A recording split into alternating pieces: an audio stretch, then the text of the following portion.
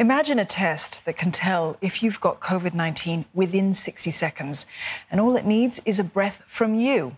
Developed by a spin off from the National University of Singapore, the breath test has an accuracy of over 90% in a pilot trial that was done with over 180 patients. Unlike the usual swab test, the breath test doesn't require specially trained staff or lab processing. Only one only has to blow into a disposable mouthpiece attached to a breath sampler.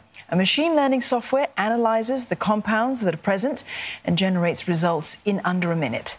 Breathonix says that its trial with the National Centre for Infectious Diseases is ongoing. It's also working with regulatory bodies as it continues to fine tune the test to improve accuracy.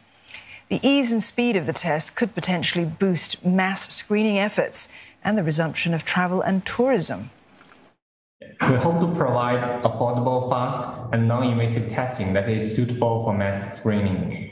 Our test has the potential to significantly reduce the time it takes for diagnosis of COVID-19. It could allow us to mass test people entering the border to ensure safety of the general population. Singapore has emphasized that a rapid test kit is crucial to restarting international travel and moving towards economic recovery.